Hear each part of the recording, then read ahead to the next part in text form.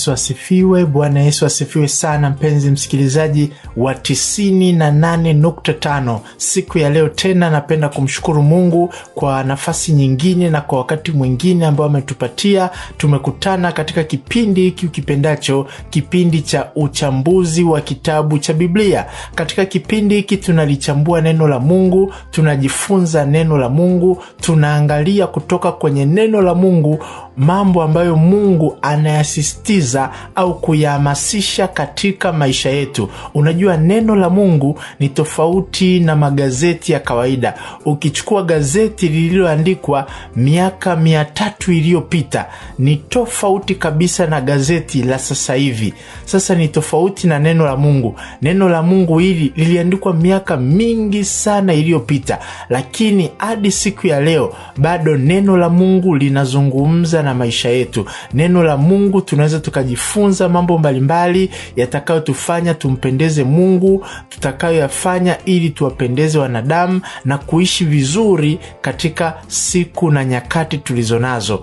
Kwa hiyo moja kwa moja kabisa katika siku ya leo tunaanza kwa kuangalia sura hii ya 26 ambapo kwenye sura ya 26 sasa ndipo tunapokutana na sensa ya pili au sensa ya mwisho, wana wa Israeli wakiwa kwenye mwaka wao wa mwisho kabisa, wakiwa wanatamalaki nchi hii ya Kaanani. Unajua, hapa zilikuwa zimebaki sekunde chache kabisa, kama nilivyozungumza katika vipindi vilivyotangulia. Hapa wako mwishoni kabisa, wameshaingia kwenye baadhi ya maeneo ya Kanani, wameshaingia Moabu, wameshawapiga wafalme kule, akina Ogu, akina Bashani, wameshawapiga wamewamaliza. Sasa hivi walikuwa wanasonga mbele, lakini sasa kabla hawajaingia hawajaitamalaki vizuri, Mungu akatoa maagizo kwa Musa kwamba wafanye sensa ya mara ya pili. Tunakumbuka kuna ile sensa ya kwanza kabisa iliyofanyika kwenye sura ya kwanza ya kitabu hiki ambayo nilishaizungumzia katika vipindi vilivyotangulia, kipindi cha kwanza kabisa kwenye kitabu hiki cha Hesabu. Kwa hiyo uh, siku ya leo hapa tuko kwenye sensa ya pili. Kwa hiyo sasa katika sensa hii ya pili jambo lilofanyika ni kwamba ukichunguza hizi takwimu uh, kuna baadhi ya vitu vichache ambavyo unaweza ukaviona ambavyo nitakushirikisha na wewe alafu tuweze kusonga mbele. Uh, jambo la kwanza kabisa tujue kwamba safari ya njiani kuna watu wengine walikufa, kuna watu wengine walizaliwa. Kwa hiyo kumbuka mambo hayo. Sasa wakati sensa hii inafanyika, na tukumbuke kwanza vilevile vile, kabila la Lawi walikuwa hawahesabiwi kwa sababu kwenye ile sensa ya mara ya kwanza iliyofanyika kwenye sura ya kwanza kule hawakuhesabiwa, lakini baadaye Mungu akamwambia Musa awahesabu uh, Walawi peke yao na hesabu yao isichanganywe na makabila mengine ya taifa la Israeli. Kwa hiyo Walawi walihesabiwa lakini peke yao. Kwa hiyo kwenye ile jumla kuu ya taifa la Israel ambapo tunasema ni watu laki sita wanaume wenye uwezo wa kwenda vitani, watoto chini ya miaka ishirini hawakuhesabiwa kwa sababu hawakuweza kwenda vitani, wanawake hawakuhesabiwa kwa sababu hawakwenda vitani, na wale wazee vilevile hawakuhesabiwa kwa sababu hawakwenda vitani. Kwa hiyo wale wenye nguvu za kwenda vitani peke yao ndio waliohesabiwa na jumla yao ilikuwa kama wanaume laki sita kwenye ile hesabu iliyoko kitabu cha Hesabu sura ya kwanza. Sasa na kwenye hii hesabu ya mara ya pili ya sura 26 sensa hii iliyofanyika hapa vile vile, jumla ilikuwa itofautiani sana. Bado wanaume wenye uwezo wa kwenda vitani ilikuwa ni ile ile laki sita kwa hiyo laki sita ikupungua. Kwa hiyo inafanya jumla ya watu wote tukiwajumlisha na hawa ambao hawahesabiwi inafika kwenye milioni mbili hadi milioni tatu hivi.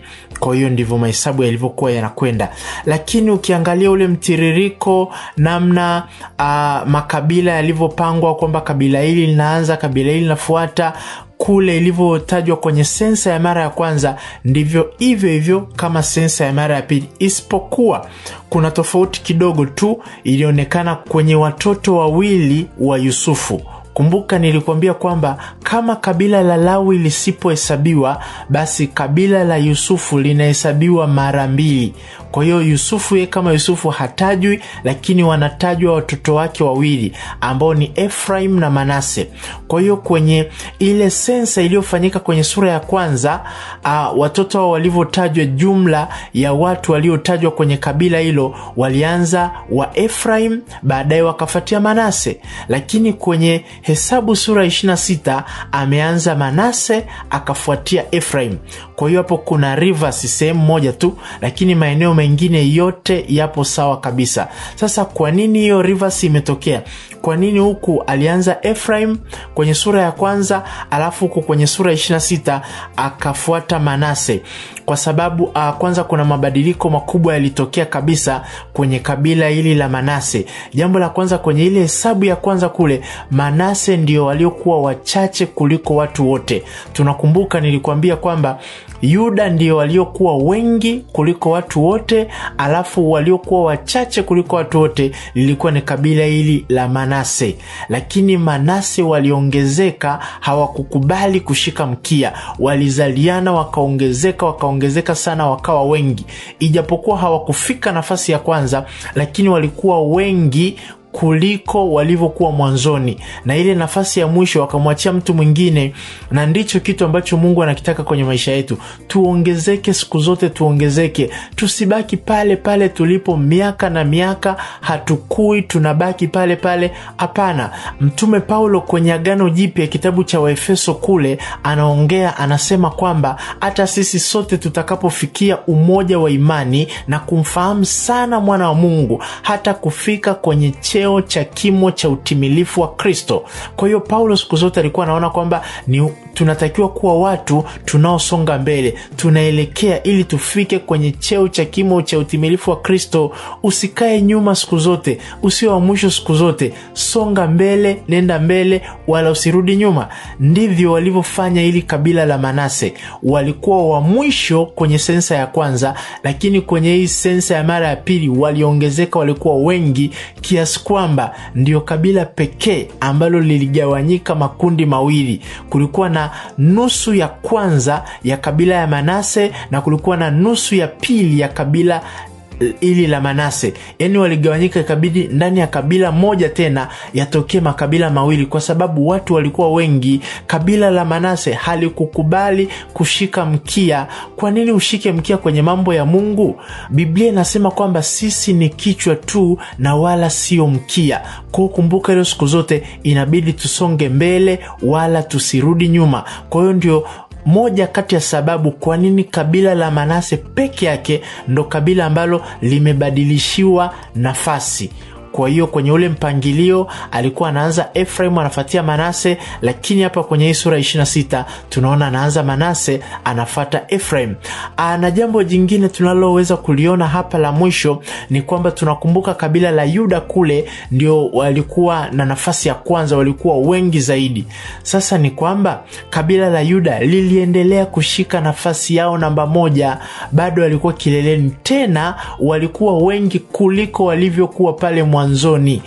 Yuda ndio aliokuwa wanashika namba moja kwenye Hesabu sura ya kwanza, lakini hata hapa bado aliendelea kubaki kileleni. Ndicho Mungu kitu anachokitaka. ndo maana Biblia inasema yule mtakatifu aendelee kujitakasa. Sio kwamba mtakatifu unajichafua, uendelea a, wewe endelea kuongezeka, endelea kujitakasa Piga vita vile vizuri vya imani, songa mbele, chuchumilia yaliyo mbele. Ndicho Paulo anachozungumza kule kwenye kitabu cha Wafilipi. Anasema kwamba ndugu zangu, mimi siyaangalii tena yaliyo nyuma, bali na kaza mwendo niifikie mede ya thawabu ya mwito mkuu katika Kristo Yesu. Unaona, kwa hiyo tunatakiwa kusonga mbele siku zote. Kama wewe upo juu, Biblia inasema inabidi uwe juu tu na wala haui chini, inabidi uwe kichwa tu wala hautakuwa mkia. Sio lazima kwamba yale maneno Bwana Yesu aliyoyasema kwamba wa kwanza atakuwa wa mwisho. Kwa nini uwe wewe? Sio lazima uwe wewe. Acha wale wengine wanaoleta mazoea kwenye wokovu, ambao hawataki kuwa serious na mambo ya Mungu wao ndio watakuwa wa mwisho kama walishawahi kuwa wa kwanza. Lakini kama wewe ni wa kwanza sasa hivi, sio lazima yale maneno ya Bwana Yesu yatimie kwako, ambayo ni maneno ya laana, maneno ambayo sio mazuri.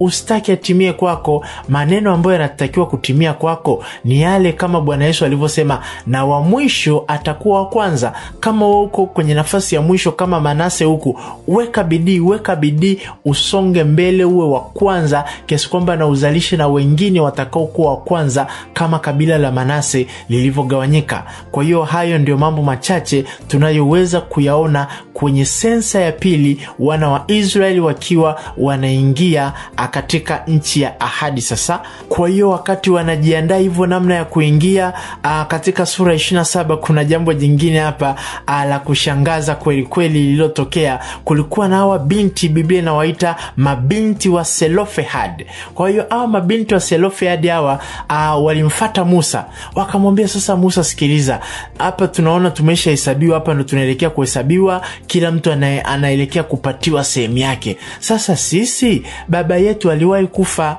Tena mabinti wakajieleza vizuri kabisa. Mabinti hawa wakasema kwamba baba yetu hakufa kwenye maasi ya Kora, kwa sababu wangesema kwamba alikufa kwenye maasi ya Kora, maana kwamba alikuwa ni msaliti. Aa, lakini wanasema yeye baba yetu alikufa tu kwenye dhambi zake nyingine. Huenda labda ni wakati ule wana wa Israeli walipoambiwa watazame nyoka ya shaba, yeye baba yao awa mabinti, huyu mzee selofiadi labda yeye mwenyewe hakutazama ile nyoka ya shaba, akawa anatazama huku chini akafa. Huenda kuna dhambi fulani iliyomuua. Biblia haikututajia specifically kwamba ni dhambi aina gani, lakini alikufa. Awa mabinti wakawambia, sasa sisi urithi wetu vipi? Kwa sababu hakuna mtoto wa kiume aliyezaliwa anayetakiwa kurithi a, ile sehemu ambayo angepewa baba yetu kwa sababu ndivyo sheria ya Musa ilivyokuwa inasema kwamba watoto wa kiume ndio watakaokabidhiwa. Sasa sisi kwetu hakuna mtoto wa kiume, tuko mabinti peke yetu, na walikuwa mabinti watano. Sasa wakasema sisi tutaishije? Maanake sisi ndo tutabaki tu watu wa kuangaikaangaika, wa kuombaomba kwa majirani, hatuna sehemu tutakayorithi. Ah, Musa naye akapata challenge, ikabidi Musa arudi kwa Bwana amuulize Mungu kitu gani kilitokea hapa. Kwa hiyo sasa Mungu ndo akampatia maagizo, akasema kwamba au mabinti wa Selofead wamezungumza jambo la haki kabisa. Kwanza hadi hapo tunajifunza nini? Tunajifunza kwamba tukiwa na mahitaji tusilalamike, jambo la kwanza, lakini twende mbele za Mungu kwa ajili ya kupata suluhisho, na huenda suluhisho halipo kwenye vitabu vya hapa duniani, kwa sababu torati ya Musa tayari alikuwa anaandika, na hapa alikuwa kwenye dakika zake za mwisho, ndo anakaribia kuondoka hivyo. Sasa majibu yalikuwa hayapatikani kwa Musa, ikabidi Musa aende kwa Mungu na Mungu akaongezea kwenye torati ambayo tayari alikuwa ameshawapatia, kwenye maagizo ambayo tayari alikuwa ameshapewa tangu kule kwenye mlima Sinai. Ikabidi Mungu aongezee mambo ambayo alikuwa hayajawekwa tangu mwanzo, kuhusiana na habari za wanawake, na wao wana ruhusa ya kumiliki kumiliki ardhi, kumiliki nyumba, kumiliki vitu vinavyoweza kumiliki ikiwa na watu wengine. Kwa hiyo Mungu akamwambia Musa, sasa awa mabinti wanaweza wakamiliki kabisa ile sehemu ambayo ungempatia baba yao. Kwa hiyo basi na wanawake wana uhuru kabisa wa kumiliki. Kwa hiyo kwa mara ya kwanza torati hiyo ikaingia, kwa sababu kuna watu ambao hawakukata tamaa, watu ambao hawakuridhika tu na ile torati au sheria iliyokuwepo, kwamba sheria inasema hivi, lakini sheria inatukandamiza sisi mabinti kwa namna fulani. Kwa nini tukandamizwe? Ngoja twende mbele za Mungu, twende mbele za mtumishi wake, tuone kitu gani kitatokea. Kwa sasa ndio maagizo yakaja kabisa kutoka kwa Mungu kwamba na wao wanaruhusiwa kumiliki. Kwa hiyo wakamiliki kabisa kialali Kwa hiyo jambo likaongezeka ambalo halikuwepo mwanzoni. Unajua, unapofanya maombi, Mungu anaweza akafanya mambo ambayo hata hayajawahi kutokea tangu ulimwengu umekuwapo, hata kama hayapo kwenye vitabu vyovyote zote hata kama sayansi inakataa kwamba jambo hili haliwezekani lakini wewe unaweza kwenda mbele za mungu. Kwa sababu mungu mwenyewe anazungumza anasema leteni hoja zenye nguvu. Ukipeleka hoja yenye nguvu mungu ni mwaminifu siku zote. Mungu atafanya sawasawa na alivyoahidi. Tena biblia inasema mungu anafanya zaidi ya vile tunavyoomba na zaidi ya vile tunavyofikiri. Na hata majibu ambayo mungu aliyatoa hapa mungu hata aliongezea na vitu vingine zaidi yani mungu akaangalia zaidi ya hawa mabinti huenda kuna cases nyingine zikaja zikaonekana ambazo zinaendana na za hawa mabinti lakini ni zaidi ya hapo. Mungu akatoa na maelekezo ya zaidi kwa sababu mungu aliendelea akasema kwamba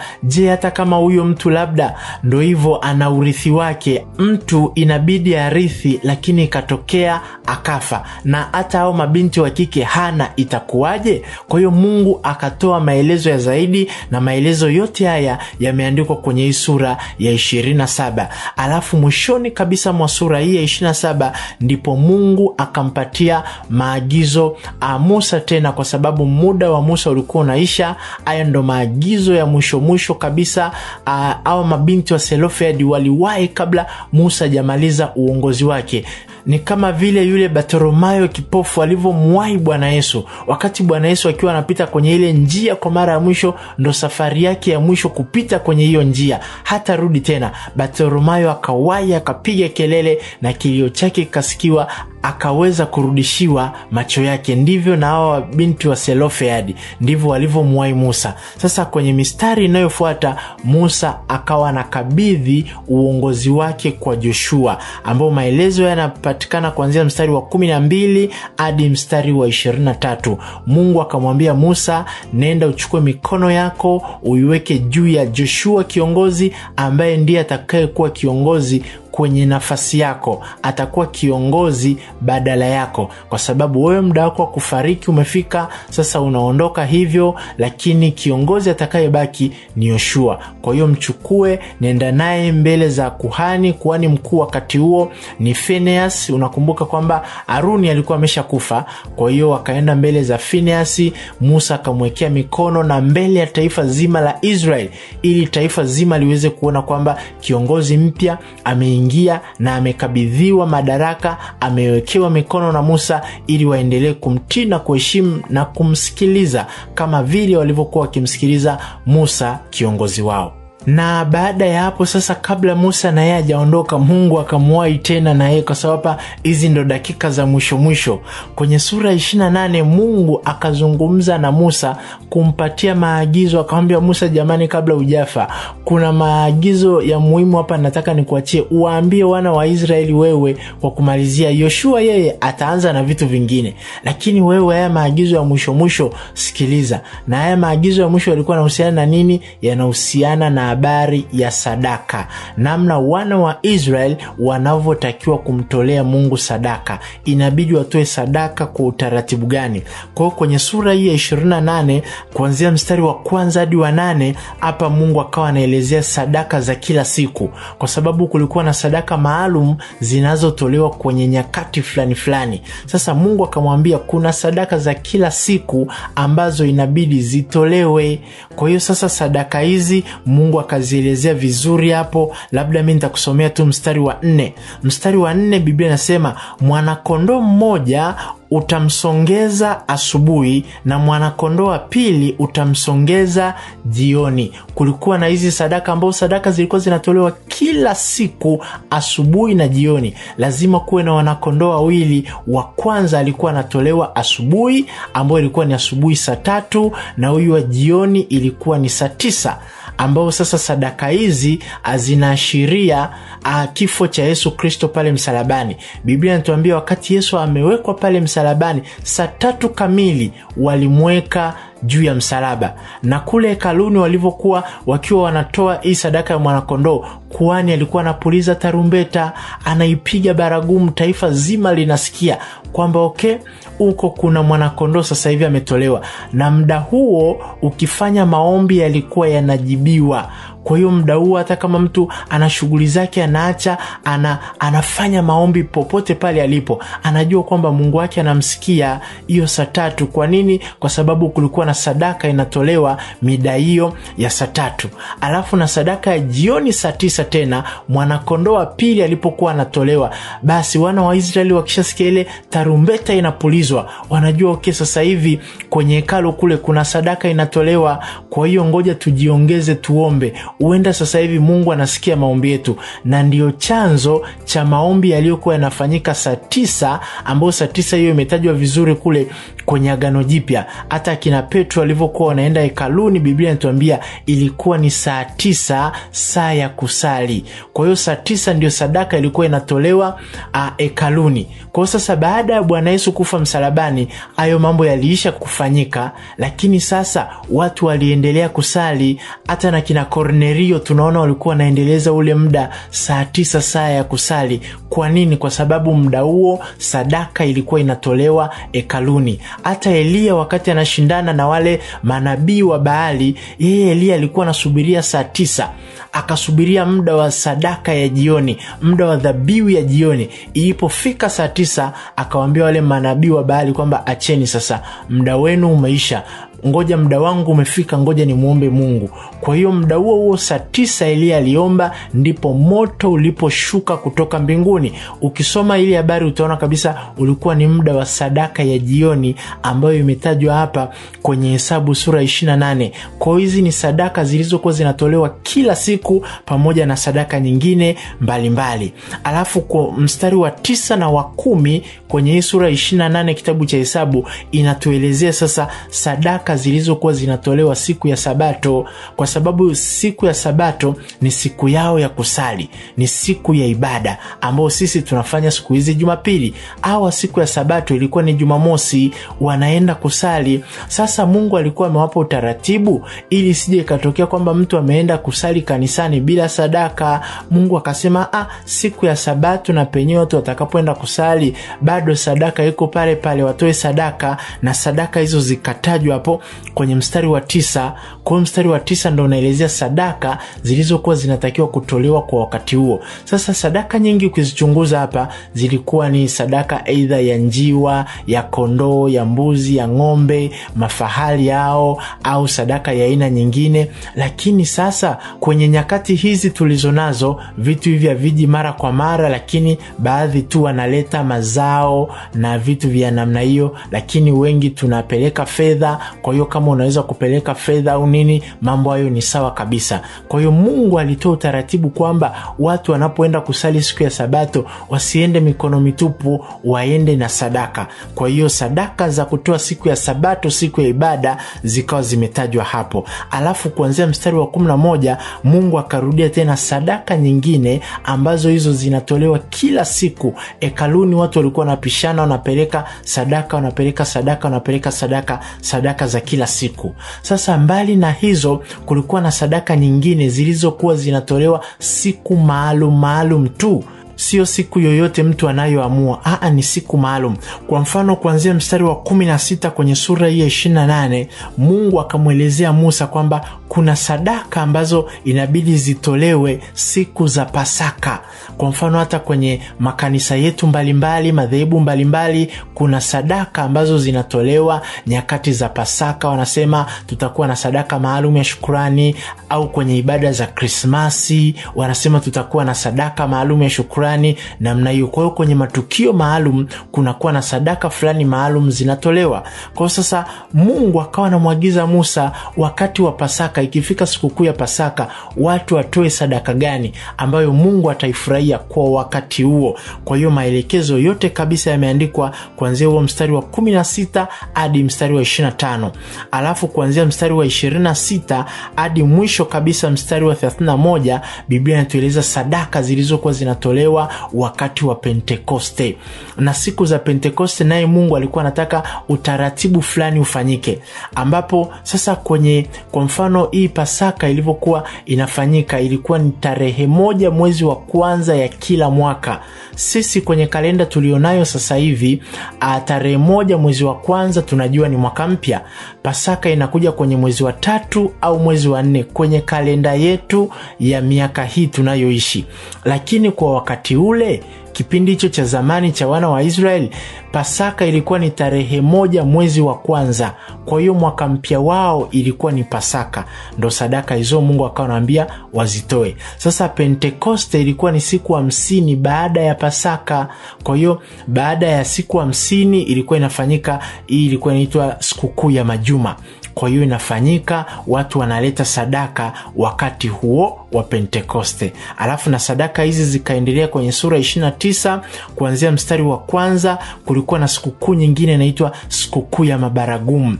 Kwa hiyo sikukuu ya mabaragumu au tunaita ni sikukuu ya matarumbeta. Matarumbeta yanapulizwa, yani sikukuu ya matarumbeta, wanapiga matarumbeta, na hii inawakilisha wakati ule Yesu Kristo atakapokuja, tutaisikia parapanda ya malaika mkuu ikiwa inalia ndipo Yesu Kristo atakaporudi, kama Pasaka ilivyowakilisha wakati Yesu alipokufa na kufufuka kutoka kwa wafu.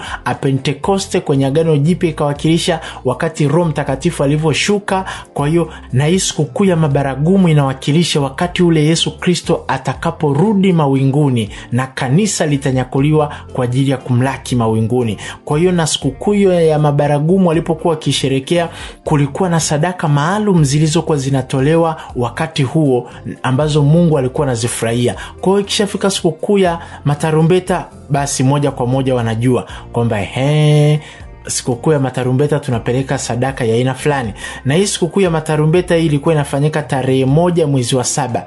Kwa hiyo tarehe moja mwezi wa saba kila mwaka ilikuwa ni sikukuu ya matarumbeta. Sasa sisi wakati wa kurudi Bwana Yesu hatujui ni lini, ila Biblia inatuambia tuwe macho, tuwe tayari tayari tuwe standby wakati wowote mwana wa adam anarudi kwa ajili ya kulichukua kanisa lake. Kwa ujiandae, uwe tayari. Alafu kuanzia mstari wa saba kwenye sura hii ya 29 tunakutana na sikukuu nyingine, ilikuwa inaitwa sikukuu ya upatanisho. Kwa hiyo sikukuu hii ya upatanisho kulikuwa na sadaka zinazotolewa ambazo Mungu aliamuru zitolewe katika siku hiyo ya upatanisho, na hiyo ilikuwa ni tarehe kumi kila mwezi wa saba. Kwa hiyo tarehe moja mwezi wa saba baragumu, alafu tarehe kumi ilikuwa ndo siku hiyo ya upatanisho.